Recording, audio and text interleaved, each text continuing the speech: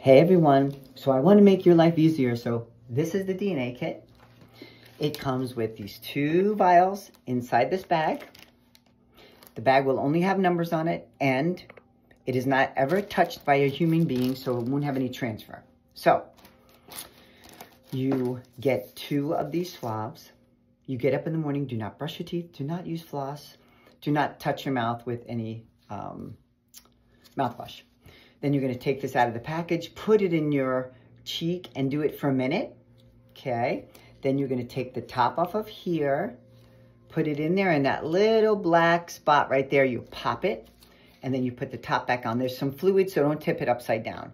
Then you do the other side with the other one. Do the same thing with the other vial.